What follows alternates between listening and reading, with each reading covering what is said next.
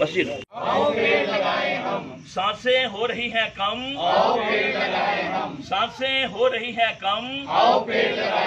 Thank you sir thank you आज इस बहुत ही अच्छे समय पर जबकि बी केयर टीम और अमानी ट्रस्ट मिलकर के प्लांटेशन ड्राइव कर रहे हैं और इस जगह में अ, कुछ पौधे लगा रहे हैं।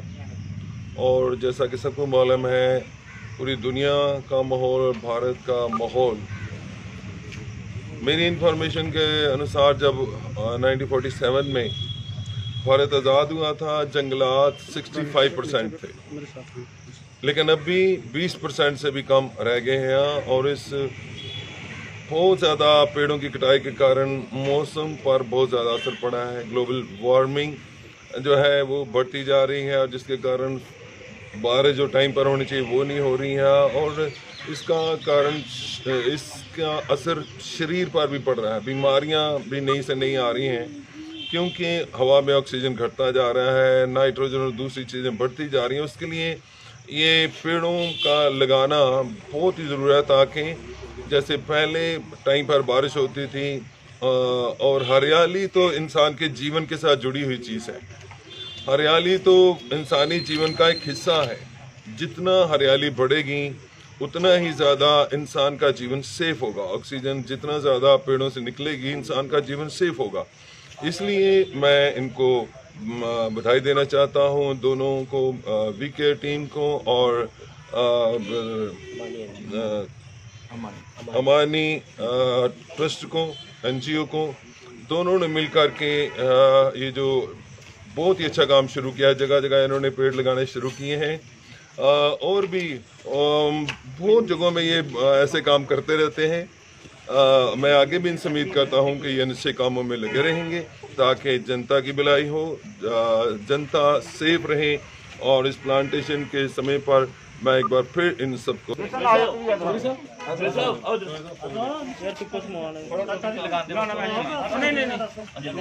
जी जी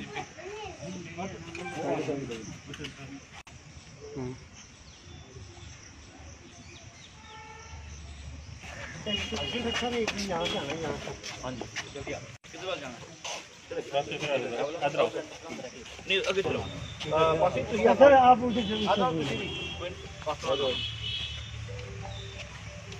भाई किसी ने उठना नहीं।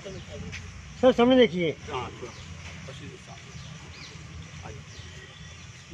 प्लांटेशन ड्राइव देखिए प्लांटेशन ड्राइव जो है आज कल के दौर में देखा जाए तो it is need of the hour आजकल के ज़माने में प्लांटेशन ड्राइव करना बहुत ज़रूरी है लेकिन लोग इस तरफ़ ध्यान देते नहीं हैं। हर कोई अपने अपने कामों में इतना उलझा हुआ है कि एनवायरनमेंट की तरफ़ कोई भी ध्यान देता नहीं। पाँच जून को एनवायरनमेंट डे होता है, उस दिन भी लोग इतना ध्यान नहीं देते हैं। उसके अलावा इस बात को देख के मुझे इतनी खुशी हुई जब इन्होंने बुलाया मुझे, वी केयर एंड अमानी एन ने, कि अभी भी कुछ एन ऐसी हैं जो एनवायरनमेंट डे के अलावा, जैसे आम दिन है आज, इन्होंने आज के दिन के लिए ये टाइम निकाला, एक प्रोग्राम ऑर्गेनाइज़ किया, और ये क्रिश्चन ग्रेवयार्ड है सरवाल कॉलोनी में। यहाँ पे प्लांटेशन ड्राइव के लिए कुछ ना कुछ इन्होंने इंतज़ाम किया। तो मेरे ख्याल से ये एनवायरनमेंट को अगर बरकरार रखेंगे तो ये वापस हमारे हमारे पास आएगा कुछ ना कुछ और बेहतर चीज़ें लेके। क्योंकि पेड़ पौधों से, हरियाली से ग्रीनरी से सबसे ज़्यादा अगर किसी को बेनिफिट मिलता है तो वो है ह्यूमन लाइफ को, मानव जाति को। तो अगर मानव जाति को ह्यूमन लाइफ को बेनिफिट चाहिए तो पहले ह्यूमंस को ह्यूमेन आउटलुक और ह्यूमेन अप्रोच रखनी पड़ेगी। तो मुझे लगता है कि ये जो एन ने कोलेब्रेशन किया है यहाँ कृष्ण बिरादरी के साथ, ये एक ह्यूमन अप्रोच है ह्यूमेन आउटलुक है, और इसका जो है, हरजाना और इसका जो बेनिफिट है, इसके एडवांटेज है या इसका रिज़ल्ट है प्रोग्रेस है, वो कुछ ही दिनों में नहीं, कुछ महीनों में जब ये पौधा, जब ये जो आज प्लांट लगाया है, जब ये पनपेगा, पौधा बनेगा, फिर ये पेड़ बनेगा, फिर कभी ये फल लाएगा, कभी ये छाया देगा, कभी ये ऑक्सीजन देगा तो हर चीज़ में इसका बेनिफिट ह्यूमन लाइफ को मिलेगा। तो बहुत ही अच्छा इनिशिएटिव है। आई होप कि ऐसे इनिशिएटिव ये जो एन है, आगे बढ़ाते रहें। और हर जगह, ना सिर्फ़ यहाँ, हर जगह ये काम चलता रहे।